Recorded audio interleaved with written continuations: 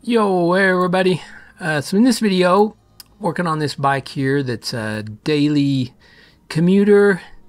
Uh, it's pretty neglected, hasn't seen a lot of maintenance in quite some time, and the, the chain is pretty, pretty rough, pretty worn, and pretty bagged out, uh, as well as the rest of the drivetrain. Uh, you can see, you know, the chain is pretty stretched and it's not even really fitting on the chainring at this point. So, had a pretty good suspicion that the cassette was going to be blown out as well. So anyway, I'm going to show you kind of what I do um, to check it. First off, we're going through this chain and it's measuring at 1.56 millimeters over four inches of, you know, you set it to zero, set it on the chain. That's how shows how far it's stretched out it is. So definitely beyond the 0.8 millimeters of recommended uh, replacement or and so you know this I got a new chain here compared to the old that chain and you can see over uh, not even the end of the chain it's already a quarter inch out. You can you know just if I push that back and forth. You can just see how much slop is in those rollers in comparison to a new these are both the same Shimano 10 speed uh, HG or whatever the 6700 chain there.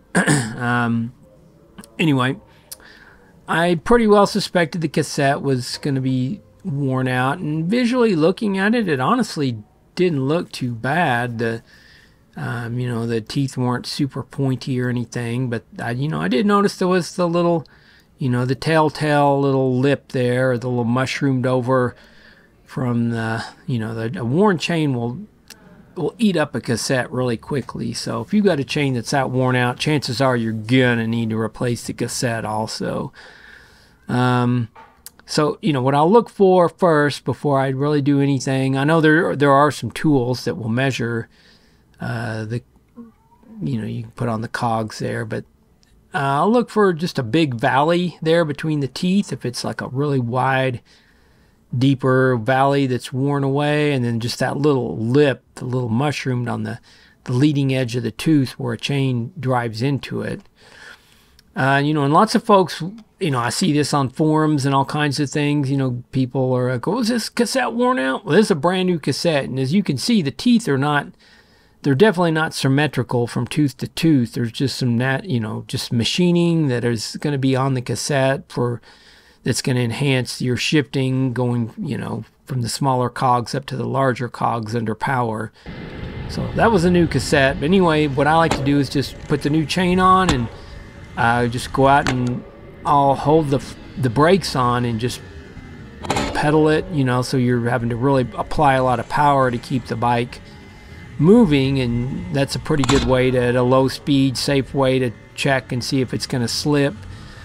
Um, so obviously this one's slipping you know it's kind of in that maybe from that middle maybe the this gear and then the next couple gears were slipping. So that's how I like to test them I'll just take it out, do this thing, hold the brakes on, and go really slow like this. And if it slips and pops under load, you need to replace it.